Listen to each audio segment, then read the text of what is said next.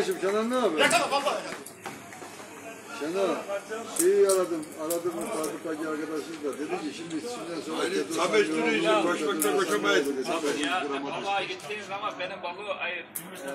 Evet, yani 9 gram var. Böyle benim benim. Çok kötü. Değişelim şey. Şey diyelim. Burada mı? Dedim onun için yani. Tamam bir dakika. Telefonu alıyorum.